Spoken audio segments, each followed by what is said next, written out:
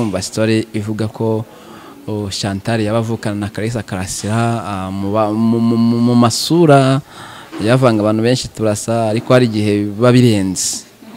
Ndashaka kumenya rero. Kalisa Karasira yaba yarigeze akwandikira kuko nigeze kubona mu kuvuga avuga ko utari kujya wenda kuri social media wari kumwandikira mukabiganiraho. Ariko nawe mu kugusubiza ajya kuri social media hari umuntu wakibaza. Ubundi we nk'uko yavuga ko wari kumwandikira. Magingo yari yakwandikira? Eh, kararisa karasira twaravuganye. Mm, twaravuganye yaje kumpamagara nyuma ya ya- ya biriya byose wabonye nyine. Ari nka, content yakerewe kugira ngo ibihangano byawe bibe byagera kure. Ni uko kuri kuhari cyangwa ni ukubeshya biriya bintu ntabwo njya mbyemera mpamya ko umuntu azamuka kubera imana umuntu akazamuka kubera rugira uduhanga amaso uhora nyine adu- adushakira ibyiza washyize ifoto kubera umuntu umuntu washyize ifoto hanze yambaye ubusa tukamumenya ubwo ni imana iba yamwamamaje Eh, nyine umuntu kwamamara biri mu buryo butandukanye. Reka nizere ko gahunda zimeze fresh nizere ko uri amahoro nta kibazo na kimwe gihari. Natwe turakomeye turashima imana. Ndi albert yosa ni baraka tv reka ngushimire udahwema kudukurikira umunsi ku munsi kora subscribe kugira gahunda zigende fresh. No munsi ndi i nyamata mu bugesera ni ho nagiye nagiye kuganira n'umukobwa witwa wingene chantal.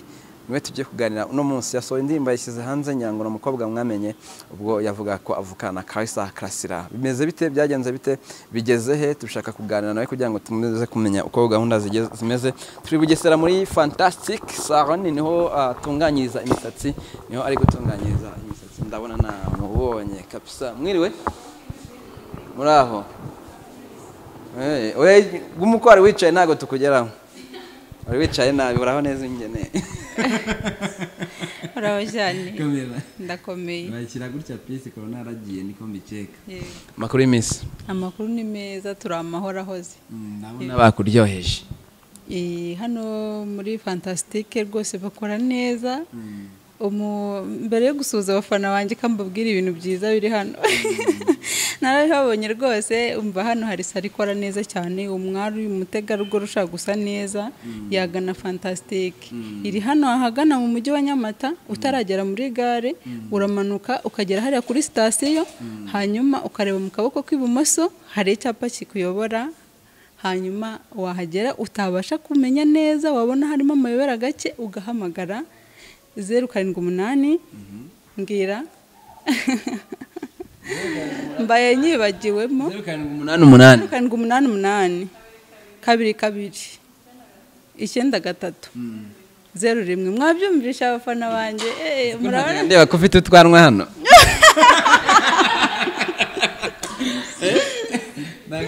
Ubu ni bwo utubonye. Yewe ni ukubera hano banyakije. Oya Eh, niyo mpamvu se? Hmm, ndaza kukubwira mu kanya kandi tujya mu kiganiro n'umuntu natubonanye. Okay. Usanze ku ntebe bagutunganyirijeho reka twishake press twakoreraho kugira ngo dukore ikiganiro. Cyane kumugenderera afite indirimbo yasize hanze.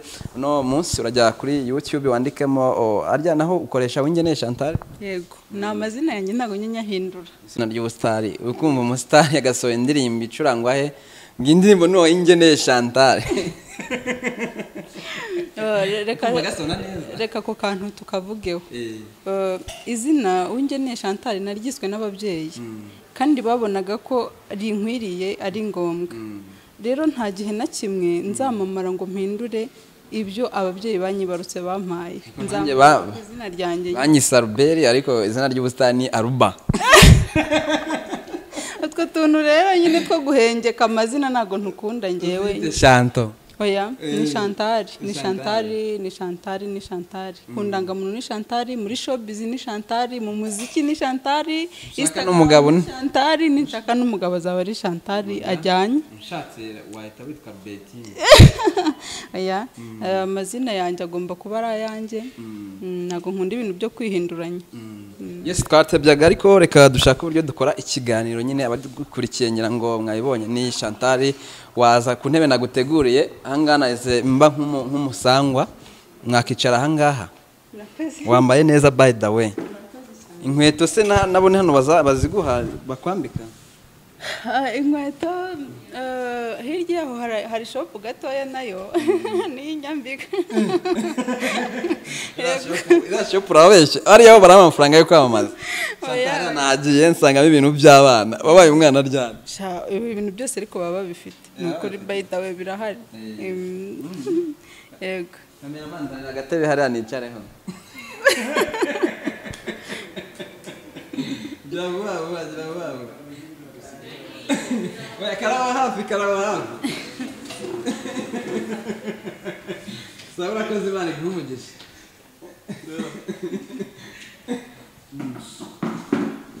Chantal reka twanzike rero yes nk'uko mwabyumvise eh, twari turi kuganira na Chantal ariko uno mwanya tugiye gukora ikiganiro. Ntundebe cyane urajya ureba muri kamera.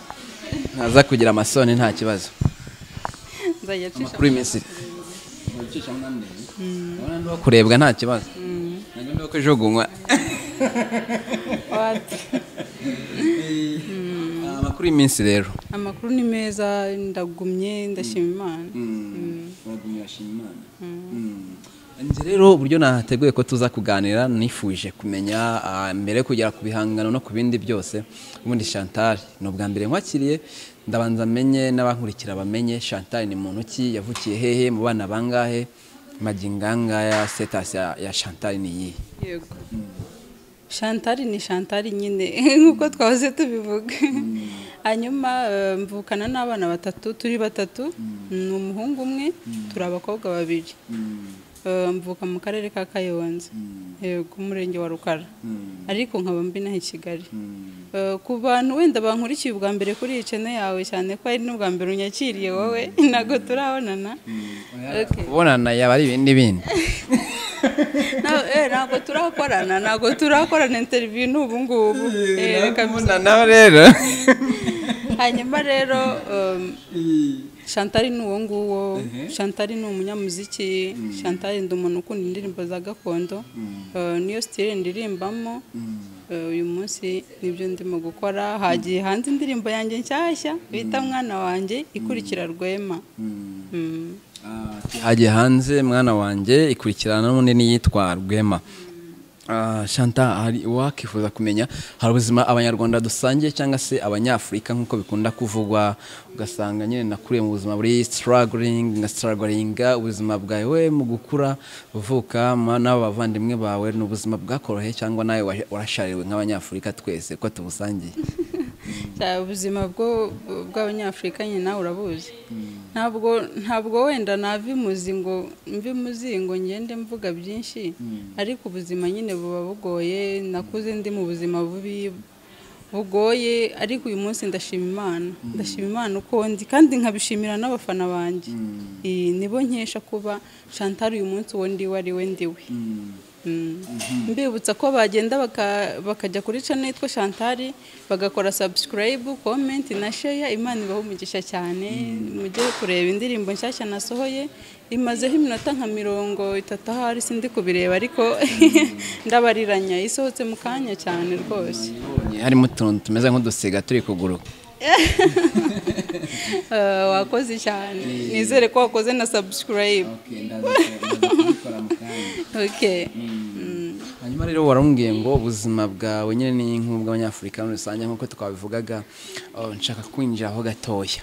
Ibishoboka cyangwa se ibyo wavuga ukumva nta kibazo biguteye cyangwa se ukumva ntabwo waba wishebeje. Ariko se ubundi hari ubuzima wanyuramo ukabivuga ukaba wisebeje warabunyuzemo ari ubwawe. Oya nta buzima na bumwe mbona wavuga bukagusebya.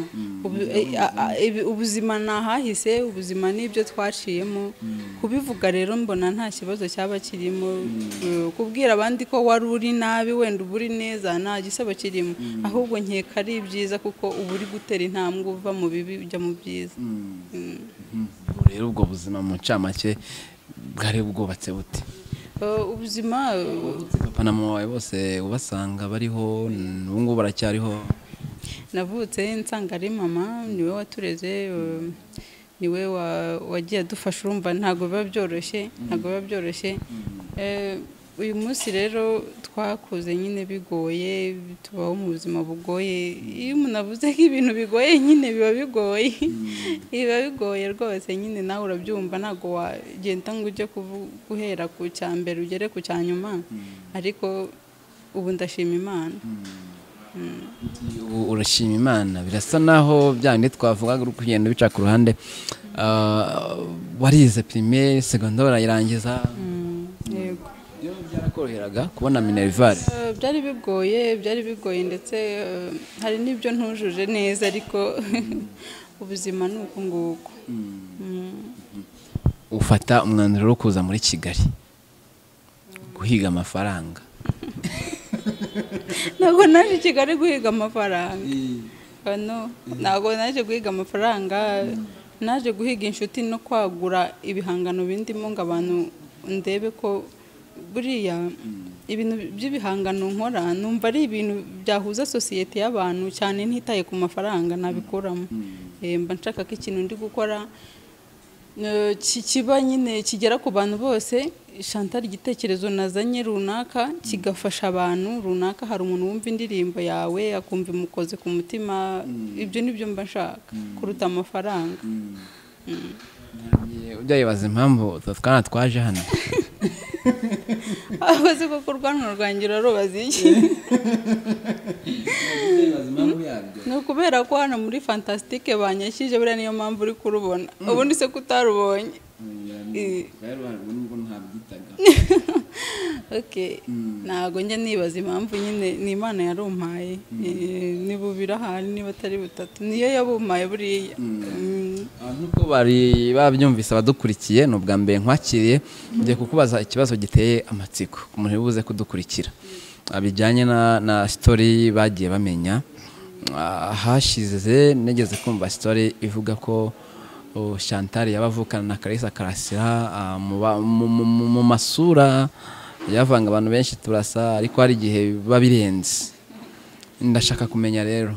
Kalisa karasira yaba yarigeze akwandikira kuko nigeze kubona ah, mu kuvuga avuga ko utari kujya wenda kuri social media wari kumwandikira mukabiganiraho. Ariko nawe mu kugusubiza ajya kuri social media hari umuntu wakibaza. Ubundi we nk'uko yavuga ko wari kumwandikira. Magingo anga yari yakwandikira. Kararisa karasira twaravuganye. Mm, twaravuganye yaje kumpamagara nyuma ya ya- ya biriya byose wabonye nyine. Yaje kumpamagara twaravuganye. Yego. Byabyaye amahoro? Ni amahoro.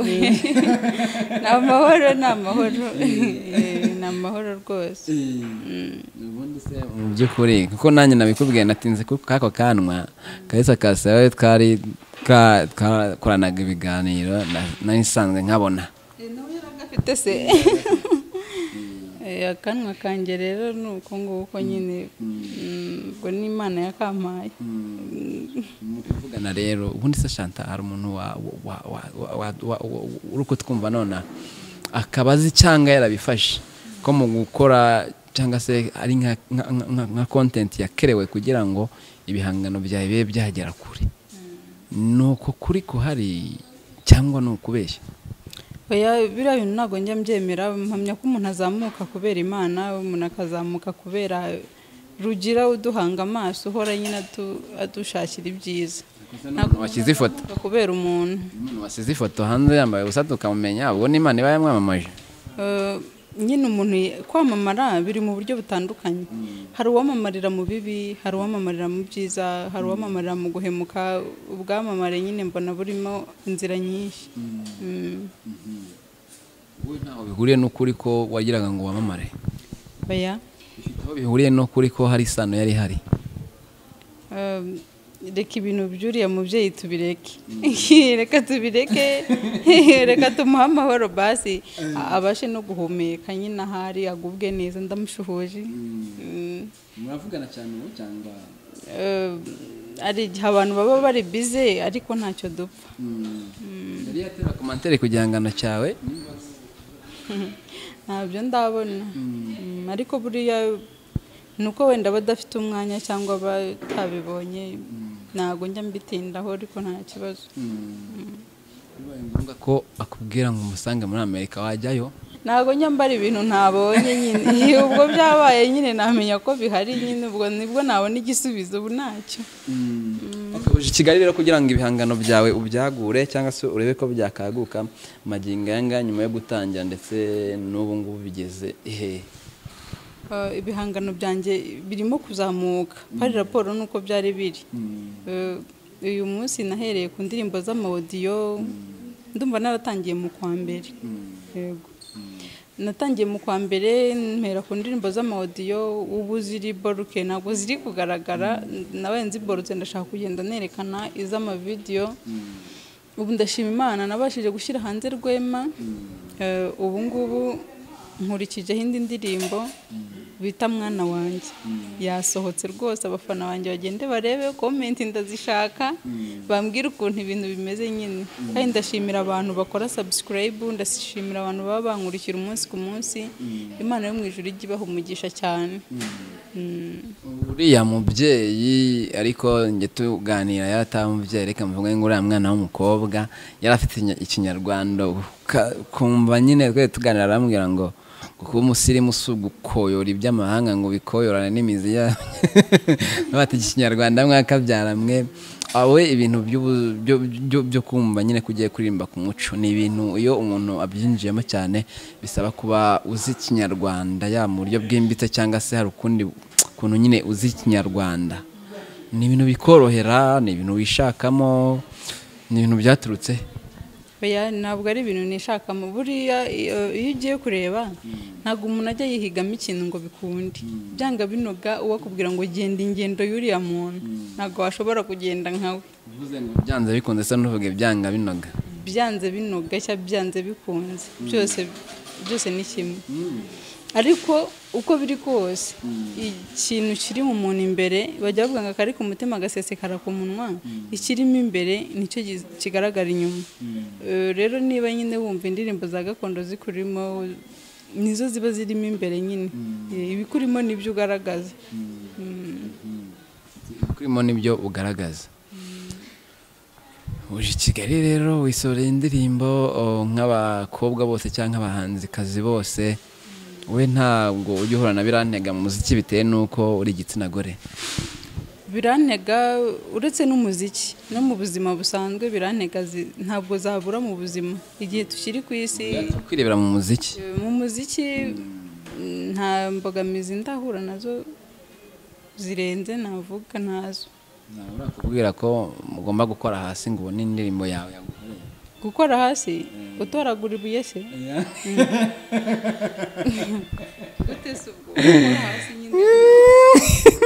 hari igihe abakobwa bajya mu muziki umusore ashobora kubasaba ko baryamana kugira ngo cyangwa se producer akagusaba ko mwaryamana kugira ngo abe yaguha indirimbo cyangwa se niba yagukoreye audio akakubwira ngo ngwino uyitore mu rugo kandi mwarikoreye muri studio.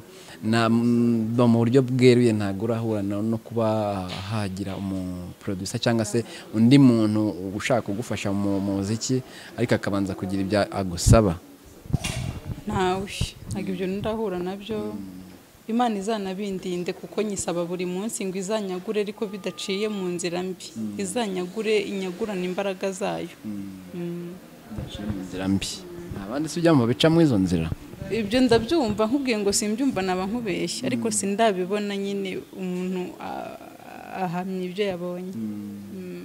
cyangwa se kubyemera umuntu twese tuganira arambwira ngo ntabwo ari umuziki babiteye ba- bagufashije nyine cyangwa se uri wa wundi. Niba bibaye n'ubundi biba bisanzwe biba ntabwo ari ukuvuga ngo bikoreshejwe n'umuziki. Mpamya ko mpamya ko uri we icyo uri cyo murahorana. Urumva rero uyu munsi niba umuntu akubwiye ibyo yishakiye ukabyumva nyine n'ubusanzwe n'iyo ataba ari ngombwa gukorera uwo muziki n'ubundi wabyumva. Ubwo niko uba uteye nyine niko uba wimereye. Mm. ese nawe wemera ko muri ino minsi ngo kubona isugi bigoye?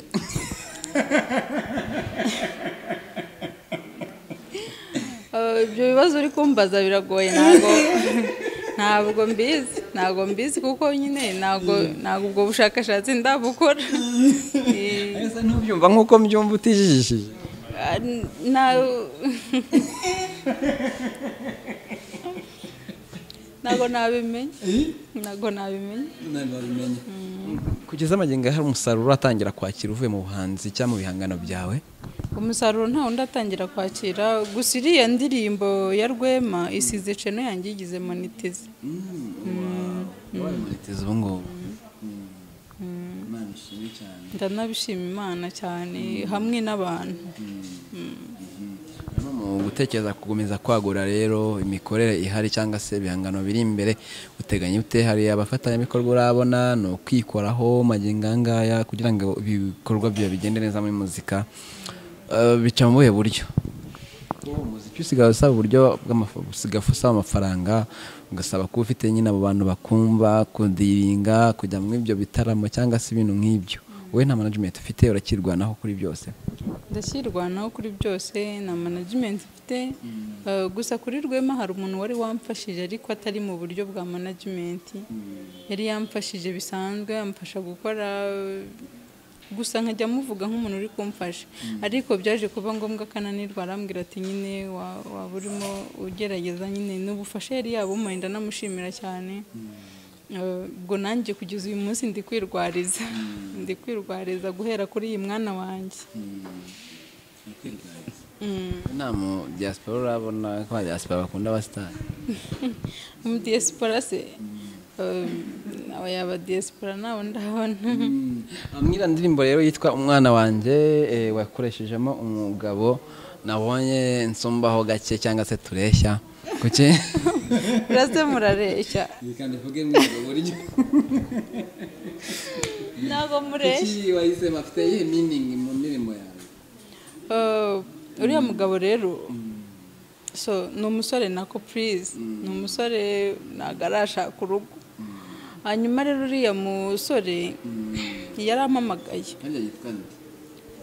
eh si uko ndi kumva ndi kwibagirwa izina rye ku buryo ndandika ngo chantal mu rukundo na. Mana yanjye ibyo bintu bikoze nta kwanga ubuzima bwawe bwose kuko ntabwo ndi mu rukundo nawe mu by'ukuri. Eh, ni umuntu nashatse kugaragaza ko ari umuntu nk'abandi. Mm. yarampamagaye kuri indirimbo rero umwana wanjye eh, yarampamagaye Eh, ambonye ku mbuga.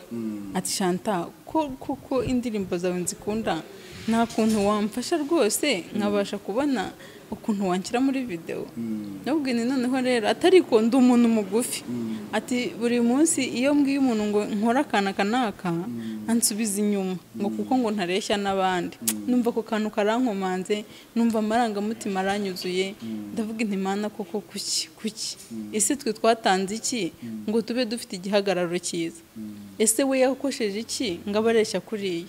Mpita numva ni ibintu bim- bimbabaje niko kumuhamagara dukorana shuti muri iriya ndirimbo ya mwana wanjye.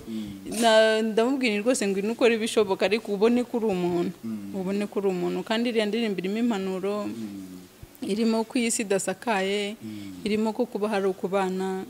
Tugomba kubana rero n'abarebare n'abagufi n'inzobe n'ibikara tukabana amahoro. Se nk'uko muri byateje saga ntabwo hajya habaho ko hari umuntu ukubwira ko mu bihangano byawe wenda hataba harimo kreativite wisanisha wenda na karasira nk'uko babivugaga. Ntabwo ujya wakira izo komantere cyangwa se izo message zimeze gutyo. Izi komanteri inshuro nyinshi hari igihe zazaga mu ma interview ariko ntabwo zazaga buri gihe zari nke cyane. Eh, ni bya bindi nyine utabuze umuntu kuvuga ikimurimo kandi buriya kandi buriya nyine umuntu umuntu ku, ku, ku, umuntu ku, ku, ku, ku mafaranga ye umuntu ku, kuri megabayiti ziwe agomba kuvuga icyo ashaka rwose ndanabashima. Eh, ariko kuri rwema ndatekereza hariho komenti magana atatu n'izindi nyinshi ariko ntabwo ndabonamo komenti intege. Mm. oya ntayo pe ndanabishima imana ndabishimira imana n'abafana banjye nkabashima cyane. Yego. Komantere wigeze wakira ukimara kwinjira mu ibintu cyangwa se ukimara kumenywa n'abantu benshi ikagukomeretsa yari iteye ite? Um, hari igihe nyine wumva umuntu akubwira ataka ibintu winjiyemo ubu ubu ntuzabishobora. Ariko kubera imana nyine nta muntu wigira unagirwa n'abantu n'imana nyine ni- mm. u- nyine komenti nkubwiye niyo hari umuntu ujya kumva akavuga ati ibi bintu winjiyemo ubu nyine ntabwo umuntu yabura ibicanege mu Kuba turi kamera gushaka unzemeza kubera uri kubaza izanditswe ukayisoma. Mu- ntabwo ndayibona. Ntabwo ndayibona. Ntabwo ndayibona. Hari ubundi buryo rero bw'itangazamakuru wenda nuko oh, haje ama YouTube mukagaragara imbere y'abantu benshi. Ariko n'amaradiyo station aba akenewe ama TV station aba akenewe bijya bikorohera cyangwa n'ubundi haracyarimo kwa kundi ko abantu. Ugasanga nyine umuhanzi imbere abahanzi bakizamuka bari baragowe. Njya mbona abakomediye bavuga ati ubwo buradiyo bwanyu mwatwimaga none basigaye batubona kuri YouTube ibintu nk'ibyo. Ariko still n'ubundi radiyo ziracyafite agaciro televiziyo ziracyafite agaciro ndetse gakomeye. Iyo indirimbo yawe ipureyingwa kuri televiziyo ipureyingwa kuri radiyo biguha kuba nyine abantu bakumenya benshi biguha amahirwe atandukanye kuko byagenze bityo nyine. Ujya ubasha kubona ama interview mu buryo bukoroheye ku ma TV station cyangwa ku ma radio station? Ubu ntabwo biranyorohera. Ubu ni bwo mbitangiye ni bwo ngiye ku- kubona najya muri urwo rugendo nubwo nyine biba bi- bigoye. Mm. ni nk'iyihe uzi koko ko amaradiyo ari menshi nyine iyo ari yo yose kuko nabo bakora nk'abantu. Mm, ni abantu kandi nyine bose bakora neza. Umuntu uzajya hostinga none ubwo nyine wakishe. Eh cyane ahubwo aho aho rwose mubwire. Aho nta mufana cyane. Kuko wari umpitiyemo wagombaga ku- kumpitiramo nyine. Ibyiza binkwiriye. Mm. nagusanze bugesera ni ho usigaye utuye? Eh, bugesera hano ni ho mba Mm. none se niba atari ibanga. Wambwiye uti umuziki alo alo nta kibazo imana izamuha umugisha nawe kandi nawe. Ndi kukubaza nimba atari ibanga? Ufite akazi ukora kugira ngo umuziki ubashe kugenda neza nanone Mm, nta kazi ndabona. Ibintu byose mbikeshwa mbikesha iyaduhanze Eh,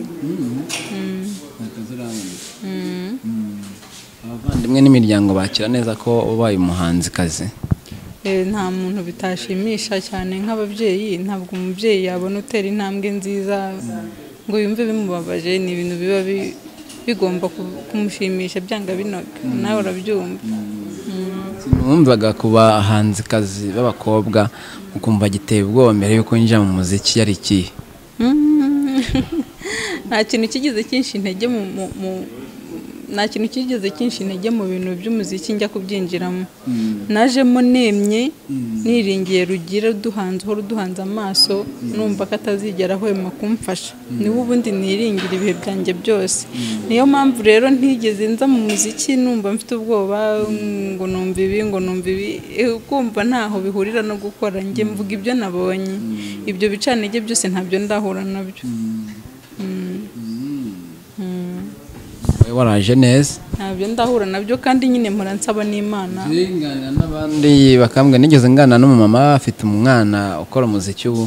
Ambwira ngo iyo numvise bavuga ngo abakobwa b'abahanzikazi bakorerwa ibi bakorerwa ibi numvaga umwana wanjye atajyayo. Ntabwo ati mureka ajyeyo wazakubwira ibiberayo uzamubwire azajyeyo nyine kuva warabyumvise ni byiza uzamubwire ajyeyo yabyitwaritseho ntabwo ibyo bintu ndahura na byo. Ntabwo ndahura na byo pe. Ntabyo Mm. ntabyo rwose. Imana izanabindinde ndayisabye. Mm. dusoza uretse kalisa karasira mwavuganye. Warahura n'ababyeyi be? Ariko si uwo muntu wamuretse ko ntari gushaka ko tumuvugaho koko? Mwihorere mwihorere. Mwihorere ntabwo ari ngombwa guhura nabo.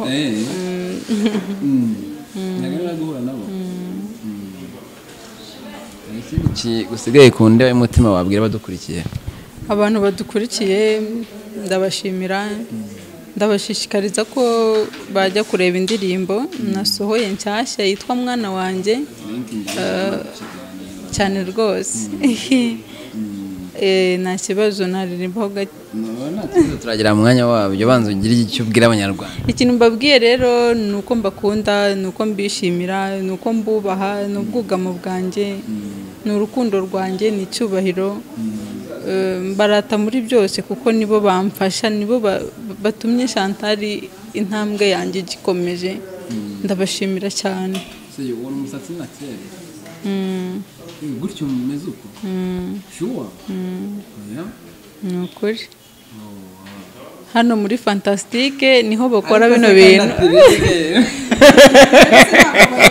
Ariko nawe ugiye kunaniza natirere bayikora neza ikamera neza nyine. Fantasitike yabaye fantasitike rwose. Natirere rwose imeze neza yabagana hano. Eh, yabagana rwose.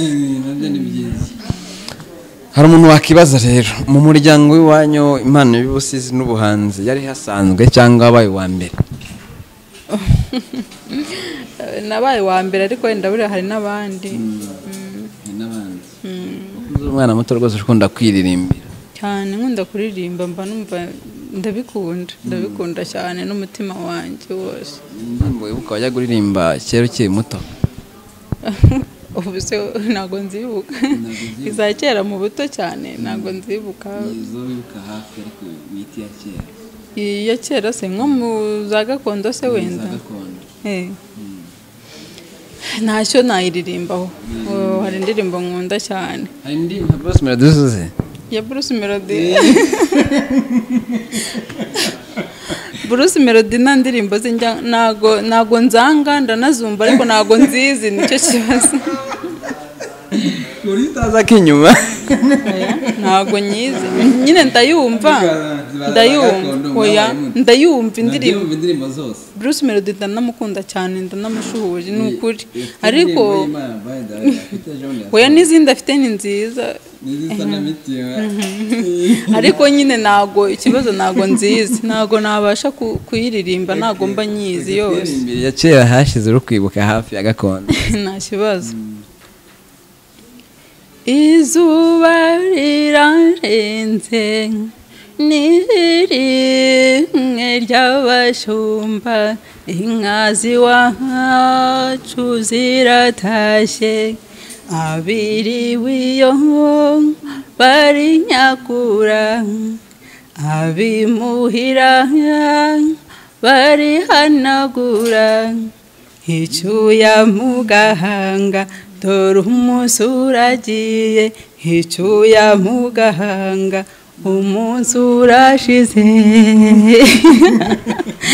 ukwezi kuracanye inyenyeri na zo ziraka ikamba ryazo rirazisaga rirasabagira ku ijuru ry'iwanyu mu karere k'iwacu niko kabyino kawose jya mu nzu dore imbeho ni yose genda ufata agapira ushinge mu gatuza. Afata agapira ashinge mu gatuza. Yego. Ubwo hari habaye iki? Hari imbeho nyinshi. Mm, eh, iyo ndirimbo ndayikunda. Hari imbeho nyinshi ubwo? Hari igitero cyayo cya nyuma. Cyangwa yambaye nabi. Nkundira nkukunde nzabone icyo nkubwira. Kizagukura amahwa mu nda nawe urirebera iyi si iravuna tuyirukankamo dushaka kubaho. Nawe aho uri hose jya wibuka utakambe untambire ubishaka nanjye nige gutamba. Untambire ubishaka nanjye nige gutamba. Untambire ubishaka nanjye nige gutamba. Nzabimenya ahubwo urabizi. Akarakara ni ukuri urabizi cyane. Urabizi. Binywesha amafaranga yanjye atazashya. Niko amahwa mu nda buri ikinyarwanda cya kera cyari gikurungiye? Gisimbitse cyari gihishemo byinshi ariko kandi badusigiye n'intwaro yo- yo gu- yo gukomeza gukora. Tukusa ikivi bamwe basize nubwo abandi bagihari. Ariko nta muhanzi upfa da ntabwo bagiye barahari. Mm. Ako gapira mu gatuza bashyiragamo nta buriya kuko nyine atangira avuga ati dore imbeho ni nyinshi. Mm, aba avuga ati nyine genda ufate agapira ukinge mu gatuza imbeho dore ni yose. Yari yambaye nabi. Nese ikageraho akavuga ati ibitotsi ni byinshi nabwo duhurira iyo. Ubwo bombi nyine baba bagiye guhurira iyo ntabwo byibaze baba bagiye guhurira iyo none si byumvikana nyine ibitotsi ni byinshi urugendo narwo ni rwose. Uyu munsi sinkikubonye fata iyo nzira imwe yo mu nzozi. Duhurira iyo mpinga y'imisozi iwabo w'abatashye aho dukura abana impeta y'umubano n'ibanga rya gihanga. Yes ah, ngira ngo muramwumva ni chantal uwingeneye niyo mazina y'ababyeyi biwe niyo mazina akoresha mu buhanzi kuri youtube channel yiwe ukore subscribe urebe n'indirimbo ye wisangize. N'abandi kugira ngo gahunda zigende neza. Tugana ku musozo w'ikiganiro rero ufite indirimbo washyize hanze n'ubundi nanone ugiye kuturirimbiraho gatoya tukurekure ujye muri gahunda zindi. Ariko se ubu hari ikindi urakora wisize gutya ra? Nawe none si kwisiga ntabwo ntabwo ntabwo kwisiga bivuga ko utakora ntabwo kwisiga bivuga ko utagira ikindi kintu ukora rwose. Mm. aba abantu bafite ziriya nzara zigiye cyangwa gutya bajya bagira. Abantu bafite inzara se. Ntabwo njya nkunda kuzishyiraho simbizi ariko buriya nabo barakora. Ese waba udakora. gukora ni byo bya mbere kwisiga bikaza nyuma. Okay. nta kibazo n'ubundi uraririmba ku ndirimbo yawe. Nta kibazo rwose. Mm. iriya yitwa umwana? Umwana wanjye. Mwana wanjye. Mm. icyo wanditse mwana wanjye? Impamvu nanditse mwana wanjye ni uko nabwiraga nyine umwana cyangwa se abana. Uriyandikira cyangwa nawe uragura? Ndiyandikira ntago ndagura indirimbo. Ari rwema nariyandikiye ari iyi mwana wanjye nariyandikiye. Mu bushobozi mfite mm, ubushobozi ufite ariko wumva atari byiza se ku buryo ubonye ubushobozi bazigura simbizi ngiye nkunda kumenya ibintu byagezweho nyine ni bwo mm. Hanyuma rero iyo ndirimbo iravuga ngo kiyehe mwana wanjye umenye kuba mbisa adakurura uzaba inyamibwa mu bato nkundira wumva inganzo inzira tunyura ntituzayituganisha ntawumenye ikiminsi ihatse uzagwira amaboko usiba inda mwana wanjye ngaho rero uzamenye kubana uzagwire inda usige amaboko. uzagwire amaboko usige inda. Uzagwire amaboko usibe inda. Yego. Utazaturika. Oya. Oya oya. ntabwo ari byo nashatse kuvuga. Ntabwo nashatse kuvuga ngo ntuzaturike ahubwo sha muri abaderangeri kweri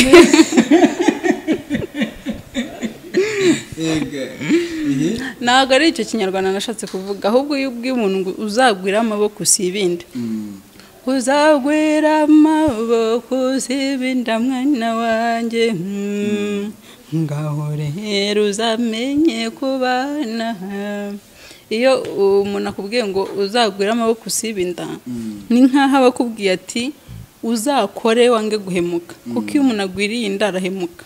Ariko iyo ugwiriye amaboko urakora. Mm, ni nkabyo nashatse kuvuga mbwe ni mwana wanjye nyine iyi si urabona iragoye. Mm, Mm, uko gahunda zimeze nta kintu uri bumbwire se dusoza ikiganiro undeba mu maso.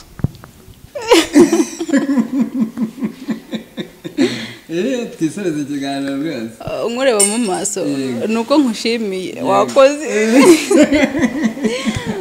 nanjye ndagushimiye urakoze cyane kandi kuraje Ah, imana iguteze intambwe kabisa izakugeze aho ushaka kugera. Ni byo nkwifurije ejo bundi tujye tukubona nawe uri kurya ifaranga nk'abandi bose. Mm, urakoze rwose imana igumugisha kuko kudusorera abageni tukaguha amafaranga cyane rwose uwumva ahubwo afite iyo gahunda mpamagare ndi tayari. Utanga nimero yawe. Eh, nta kibazo. Umusore bakakorohera. Ngo witanga